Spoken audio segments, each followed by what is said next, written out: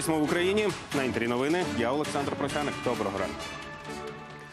Україна та Росія досягли принципової згоди про транзит газу. Це результат багатогодинних тристоронніх переговорів, які пізно ввечері завершилися у Берліні. Сторони напрацювали протокол, який є основою до підписання транзитного контракту. Жодних деталей учасники зустрічі не повідомили, адже цей документ ще мають погодити у трьох столицях Києві, Москві і Брюсселі. І планують зробити це до кінця року. Уже сьогодні перемови щодо газу продовжать у мінську в тристоронньому форматі. Єврокомісія братиме участь онлайн. Ми дуже е, якісно відпрацювали е, кінцевий протокол.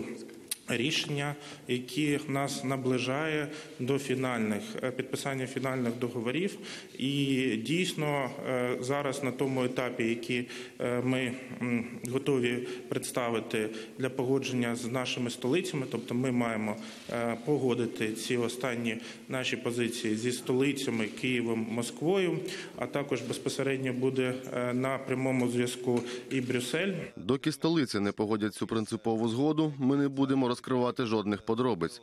Прогрес є, і я вдячний Україні та Росії за конструктивний підхід, а також німецькій стороні, яка нас приймала і допомагала досягти домовленостей. Один ворожий обстріл зафіксували українські військові минулої доби на Донбасі. Бойовики вдарили по позиціях армійців неподалік Троїцького із великокаліберних кулеметів. Також ворог атакував із гранатометів та стрілецької зброї. Втрат серед наших бійців немає. Це прострелюють так. Ну, то вони сусіди прострелюють. Нас по утрам, по вечорам теж стріляють.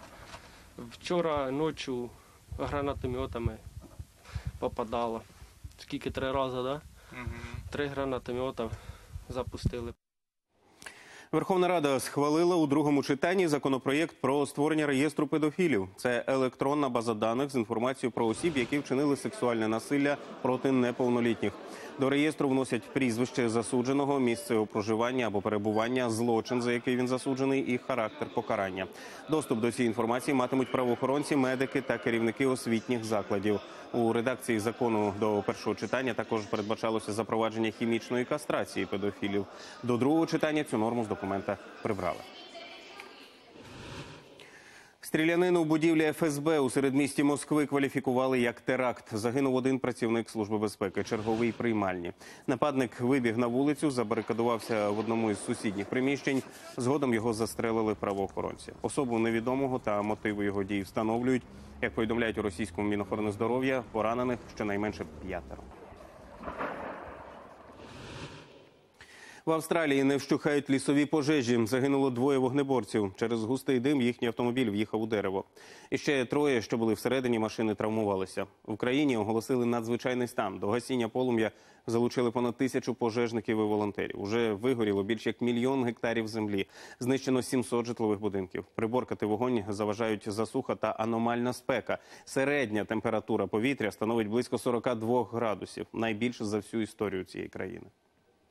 Ми маємо віддати належне загиблим. Це герої, які відгукнулися на заклик про допомогу і за це нічого не хотіли отримати.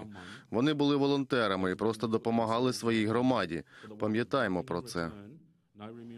Шторм Ельза налетів на західне узбережжя Ірландії. У містечку Солтхіл затопило вулиці, знесло автівки. В кількох будинках вода залила підвали. Через шквальні вітри десятки помешкань залишилися без світла. Про наближення шторму синоптики попередили лише за годину. У регіоні оголосили другий рівень небезпеки. Понад мільйон євро винагороди пропонує анонімний меценат за повернення коштовностей, викрадених із музею Зелене склепіння у Дрездені. Три комплекти прикрас 18 століття невідомі поцупили наприкінці листопада. Меценат просить просто повернути дорогоцінності. Натомість у поліції кажуть, злодіїв усе одно слід покарати. Експерти побоюються, що грабіжники могли розібрати прикраси і продати камені окремо на чорному ринку.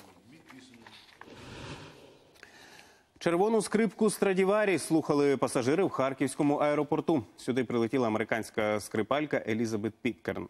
Інструмент називають червоним, бо вкритий він яскравим покриттям. За легендою, майстер додав до лаку кров загиблої дружини. Як звучить містична скрипка, розкаже Світлана Шкера. Американська скрипалька Елізабет Піткерн заходить до зали прильотів міжнародних рейсів у Харківському аеропорту. В руках стріблястий футляр з червоною скрипкою Страдіварі. Музикантка визнає, стомилася, бо хоч і летіла бізнес-класом, та ні на хвильку не заплющила очей. Подорожуючи зі скрипкою, я купую в літаку окреме місце поруч. Та це жарт, як і будь-який інший інструмент. Скрипку беруть у ручну поклажу. Тож я стерегла її, очей не зводила, спати не можна. Елізабет показує інструмент прямо в залі литовища. Каже, митники були приголомшені самозначним числом у декларації. Інструмент застрахований на ще більшу суму кілька мільйонів доларів. Цю скрипку 30 років тому жінці подарував дідусь. Інструмент купив на аукціоні Крісті. У 1990 році вона коштувала понад 3 мільйони доларів. Це був найдорожчий інструмент серед скрипок Страдіварі у світі. Відтоді його ніхто не продавав. Він завжди був в одних руках. Сьогодні ця скрипка коштує значно дорожче. Хвилина налаштування і в залі лунають перші звуки.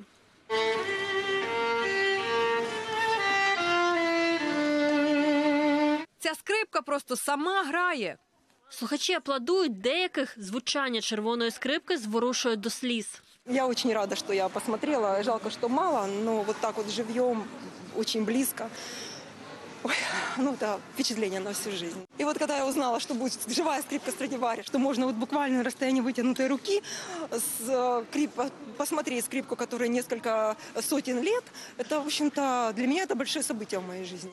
У Харкові Елізабет Піткерн візьме участь у благодійному концерті. Скрипалька багато подорожує, шукає по світу талановиту молодь. Визнає, приїхати в Україну було нелегко.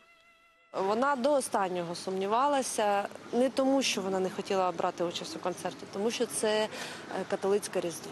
Для них це дуже велике свято, і вона пообіцяла мамі, що 25 грудня вона обов'язково буде вдома за святковим столом. Тому ем, таке маленьке диво у нас вже відбулося. Від сьогодні в Елізабет починаються репетиції з молодіжним симфонічним оркестром. Харків'яни почують скрипку Страдіварі вже у понеділок на концерті. Кошти від продажу квитків підуть на закупівлю обладнання для Богодухівського дитячого будинку інтернату. Магда Краєва, Світлана Шакєра, Олександр Яновський. Новини телеканал Інтер. Харків. Помічники Святого Миколая влаштували ходу серед містям Києва. Близько сотні волонтерів вітали всіх з новорічними святами і частували цукерками. Як це було, бачила Олена Логінова. Ці хлопці та дівчата в новорічних костюмах помічники Святого Миколая. Близько сотні волонтерів, школярі та студенти вишів рушають із Хрещатика до Софійської площі. Дорогою вітають перехожих зі святом та дарують цукерки. Бажати щастя, здоров'я, хай всі радіють. Улибайтесь почасті. Без улипки ти не одягнений. Волонтери не лише діляться новорічним настроєм, декого заохочують до здорового способу життя. Хочеться подарити людям цю невеличку таку іскорку тепла, побажати всього найкращого а, у будущим святах новим роком і такі зарядити. От, будь ласка, хлопці, зарядити е, хорошою енергією. Зі святом сигарети курите? Давайте такий девіз. Лучше їсти конфету, чим курити сигарету. Согласен? Держи, молодець. Для святкової ходи Національна організація скаутів України привезла святий вогонь з Вифлеєма. Його роздали помічникам Святого Миколая, щоб ті ділилися ним з усіма охочими. Це всесвітня естафета, передача світла мира з Віфлієму. Вона започаткована е, більш ніж 30 років тому. Скаути з Австрії їдуть до Віфлієму і беруть цей благодатний вогонь. Він символізує мир, добро та злагоду. Святкова хода волонтерів це лише старт новорічної акції. Не забудь привітати. Впродовж шкільних канікул волонтери завітають додому до дітей, які за станом здоров'я не можуть долучитися до новорічних святкувань. Таких родин у столиці понад тисяча. Олена Логінова, Сергій Коваль. Новини. Телеканал Інтер. Наразі все. Більше новин буде у випуску о 9 годині. Тоді побачимося. До зустрічі.